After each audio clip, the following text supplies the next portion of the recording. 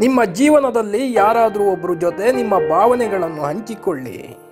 ಅದು ಗೆಳೆಯ ಇರ್ಬೋದು, ಗೆಳತಿ ಇರ್ಬೋದು, ಗಂಡ ಆಗಿರ್ಬೋದು, ಹೆಂಡತಿಯೂ ಆಗಿರ್ಬೋದು. ಅಲ್ಲ, ಅದೆಲ್ಲಕ್ಕಿಂತ ಮೀರಿದ ವ್ಯಕ್ತಿತ್ವದ ಒಬ್ಬ ವ್ಯಕ್ತಿಯೂ ಆಗಿರ್ಬೋದು. ಅವರ ಜೊತೆ ನಿಮ್ಮ ಸುಖ ದುಃಖನ ಹಂಚಿಕೊಳ್ಳಿ.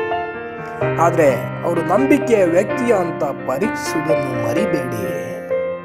ನನಗೆ ರವಿ ಬೆಳಗೆರೆ ತನ್ನ ಲೇಖನದಲ್ಲಿ ಹಾಗೂ ಪಬ್ಲಿಕ್ ಟಿವಿ ರಂಗನಾಥ್ ಹೇಳಿದ ಮಾತು ಇಲ್ಲೇ ನೆನಪು ಮಾಡಿಕೊಳ್ತಿದ್ದೇನೆ.